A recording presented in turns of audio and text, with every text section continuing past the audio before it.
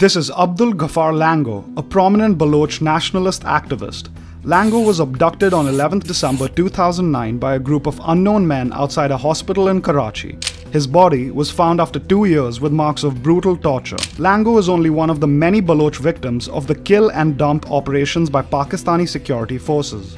Recent strikes by Pakistan and Iran in each other's territory have brought the Baloch struggle back into the limelight.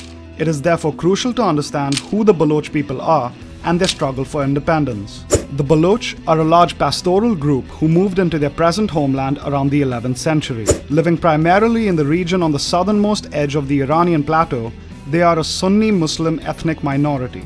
Spread across three countries, around 70% of the Baloch people reside in Pakistan's Balochistan, with 20% living in Iran's Sistan Balochistan and the rest in Afghanistan.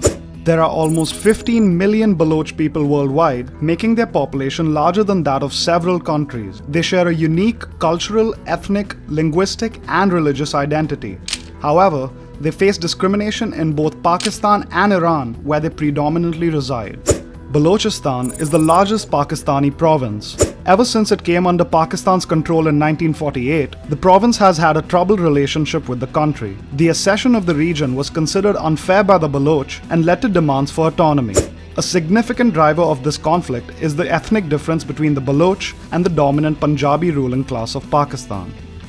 Apart from cultural discrimination, Balochistan continues to be the poorest region of the country despite its rich resources. While Balochistan accounts for nearly 40% of Pakistan's gas production, Islamabad does not provide natural gas to the province's civilian population. Moreover, despite being an essential part of the China-Pakistan economic corridor, the region continues to be impoverished. Such cultural discrimination and economic exploitation have led to the rise of insurgencies which are met with government crackdowns. According to estimates, over 7,000 individuals from Balochistan are missing. Human rights groups report that Pakistan is engaged in the torture, forced disappearances, and extrajudicial killings of Baloch civilians in the name of suppressing terrorism.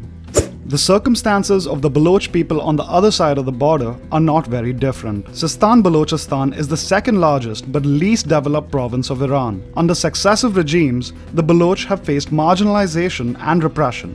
They have borne the brunt of discrimination under the erstwhile Pahlavi monarchy and continue to be exploited under the current theocracy of Iranian Supreme Leader Ayatollah Khamenei. Under the Pahlavi rulers, the Balochi language was banned from being used in schools and government offices. Furthermore, Iran has attempted to change the demographic of the region in a bid to dilute the Baloch identity by settling Iranian people in Sistan Balochistan. As per reports, the Iranian government has also refused to provide identity documents to the Baloch people. Labeling them foreigners, the government often threatens Baloch residents with deportation. Additionally, under the country's Persian-centric system, the names of historic Baloch areas have been forcibly changed. As part of the systematic oppression, Balochi protests demanding equality of cultural, political and economic rights are termed anti-religious by the government. And activism for the Baloch cause is categorized as an act of enmity against God.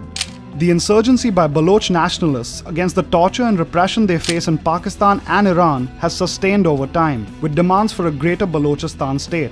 People on both sides continue to face oppression because of their identity. While the world views the recent Iranian and Pakistani strikes on the Baloch region through the lens of bilateral tensions, it may be time to reckon with the long standing plight of the people most affected herein.